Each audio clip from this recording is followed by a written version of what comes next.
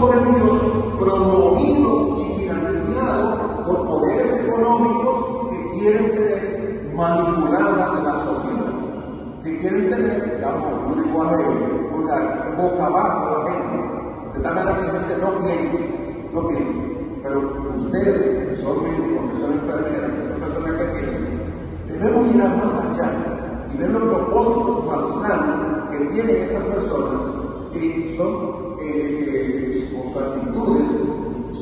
son defensores del mal y por ende hacen presente a Belcebú en medio de la ley. De cómo nosotros enfrentamos eso, el mal se vence a fuerza de Dios.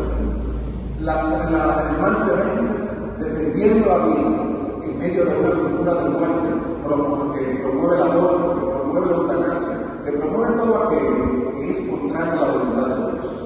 El mal se vence propiciando y defendiendo la libertad. El mal se vence propiciando un ambiente de paz, una sana convivencia, una sana convivencia.